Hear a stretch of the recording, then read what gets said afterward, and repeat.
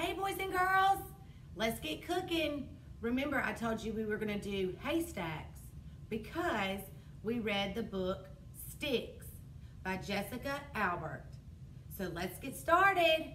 All right, and look what I did.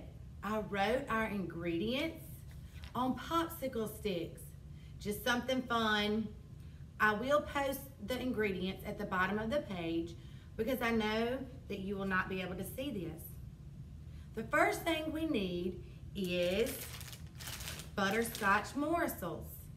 And for that part, you will need two cups, all right?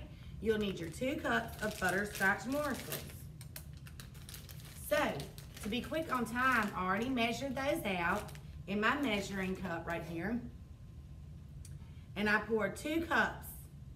The next thing you need is creamy peanut butter, all right? So what you're gonna do with that is you need three fourths cup. Huh, how much is that? Is that a cup? Is that more than one cup?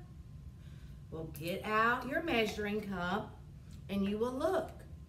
It is a little less than one cup.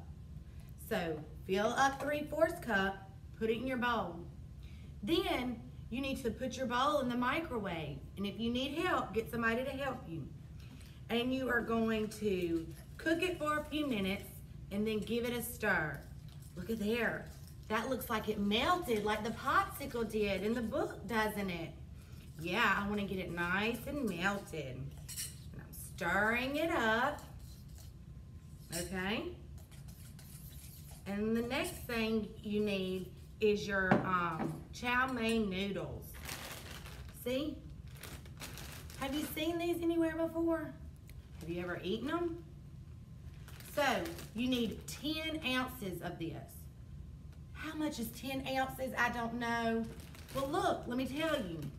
Look on the bag, and you will see how many ounces are in your bag. For most bags, it's 12 ounces. So, do I have enough? Well, let's see. It says 10.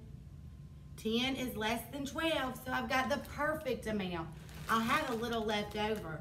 Or if you want a little extra, just dump them all in, okay? So let's get going.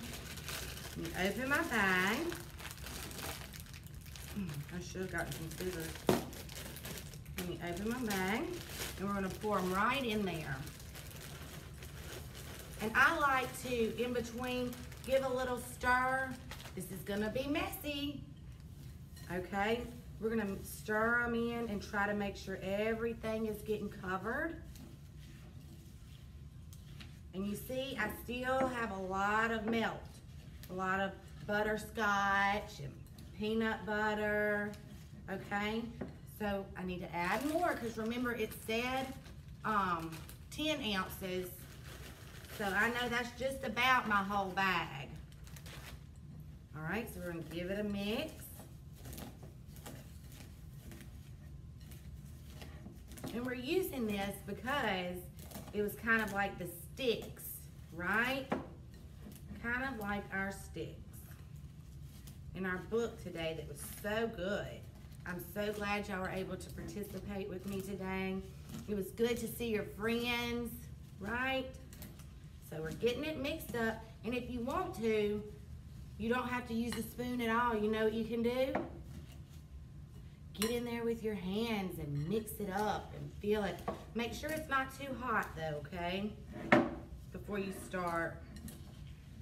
All right, now, I think I've got a little bit of candy melt on every single piece. What do y'all think? Sure does smell good.